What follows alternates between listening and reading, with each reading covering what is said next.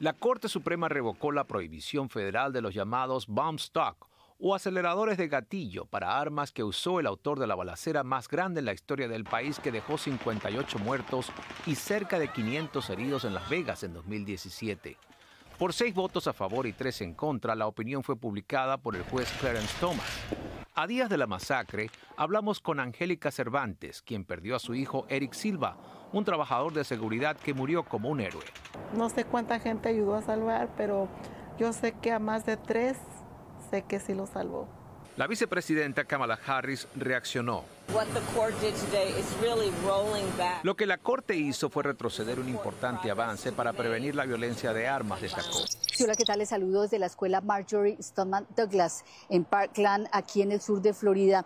Sin duda, hoy fue un día muy emotivo para los familiares de las 17 víctimas que perdieron la vida aquí hace un poco más de seis años a manos del pistolero Nicolás Cruz, quien a sangre fría acribilló a 14 estudiantes de esta escuela y a tres trabajadores de esta comunidad. Hoy una retroexcavadora inició el proceso de demolición de este edificio que prácticamente se convirtió en febrero de 2018 en un cementerio. A esta especie de ceremonia invitaron a los familiares de las víctimas. Algunos se hicieron presentes aquí y dicen que ese edificio encierra mucho significado y mucho dolor para ellos. Bueno, vamos a hablar del Papa Francisco que hace historia al ser el primer pontífice que asiste a la prestigiosa cumbre del G7 en Italia. El Santo Padre de 87 años llegó hoy al sur de Italia para una jornada de reuniones de alto nivel tras ser recibido por la primera ministra italiana, Giorgia Meloni. A lo largo del día, el Papa se reunió con el presidente de Ucrania, Volodymyr Zelensky, el presidente de Estados Unidos, Joe Biden, y el primer ministro indio, Narendra Modi. Tanto el Papa como el Vaticano abogan por un marco ético que guíe el crecimiento y el desarrollo de la inteligencia artificial. De la frontera al centro de Phoenix y otras comunidades en Arizona. Bueno, esto forma parte del plan para poder mitigar el calor extremo de la gobernadora Hobbs. Es la primera vez que un plan como este existe aquí en el estado.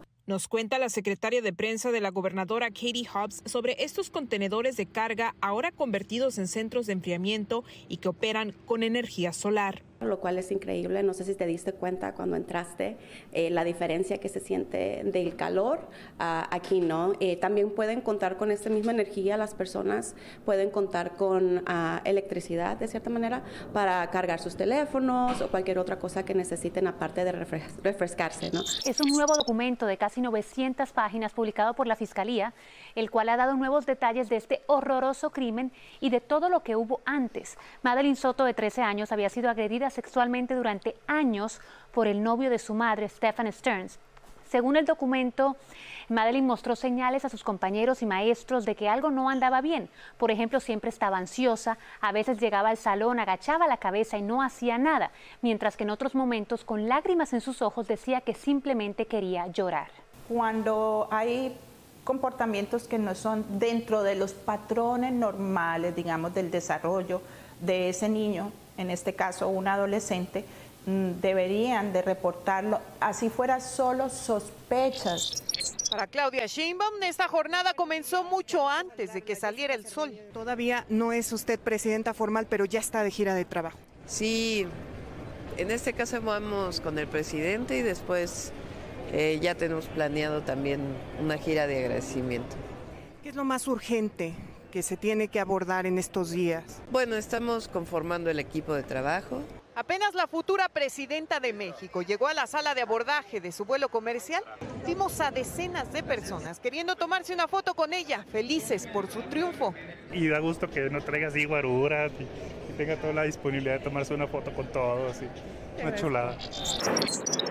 Un avión Boeing 737 MAX de la aerolínea Southwest que volaba de Phoenix a Oakland, en California, es objeto de investigación por un hecho ocurrido el pasado 25 de mayo, cuando la aeronave experimentó el llamado giro holandés a 34 mil pies de altura, con 175 pasajeros a bordo y seis miembros de la tripulación. En incidentes de este tipo, la cola del avión se mueve de izquierda a derecha y hay un balanceo de las alas. Entonces, cuando el avión hace así de cola, se em-, empieza a perder el, el ritmo. Entonces, enseguida que el piloto siente, él desconecta el piloto automático y inmediatamente recupera el avión. No es, o sea, es una cosa de segundos.